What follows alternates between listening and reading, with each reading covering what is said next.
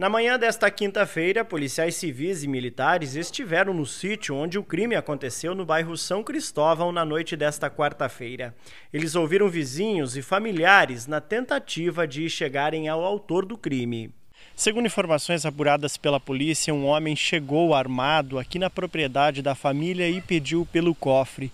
Neste momento, a vítima teria reagido a esse suposto assalto e entrado em luta corporal com o homem, mas foi atingida por disparos. A mulher e a filha da vítima, que também estavam na casa, tentaram interagir e acabaram também agredindo esse homem a pauladas, mas ele fugiu para uma região de mato aqui perto da propriedade e não foi mais localizado.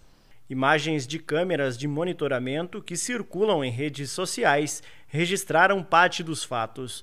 No vídeo é possível ver Jair Walitzer na parte de fora da casa, já atingido pelos disparos, correndo com um pedaço de madeira na mão.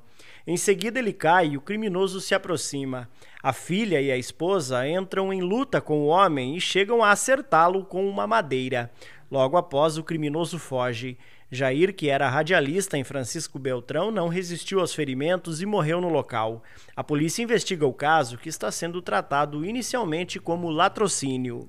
Inicialmente eram os vizinhos que ligaram que era uma situação de violência doméstica, porque ouviram a, a, a esposa gritando, a mulher gritando. Então, inicialmente chegou para o sentimento que era uma violência doméstica. Quando nós chegamos no local, nos deparamos lá com uma cena horrível, né? Onde o cidadão já estava em óbito, a esposa e a filha tentaram socorrer o marido de uma tentativa de assalto e só não foram alvejadas porque provavelmente a arma do marginal ou não tinha mais munição ou falhou é, para tentar alvejar a filha também e, e, a esposa.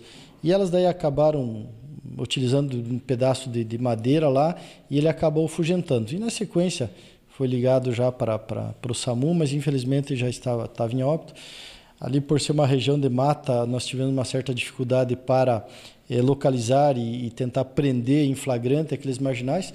Mas em contato com a Polícia Civil, ficou ali alguns vestígios. A Polícia é, Pericial, a Polícia Técnica foi chamada no local para fazer algumas perícias e já colher alguns vestígios e provavelmente na sequência, através da investigação, poderão ser identificados esses dois ou mais marginais que participaram desse latrocínio.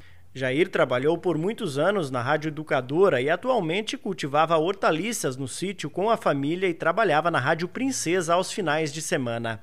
O corpo dele foi encaminhado ao Serviço Médico Legal do município e até o fechamento desta reportagem a família não havia divulgado informações sobre o velório e sepultamento.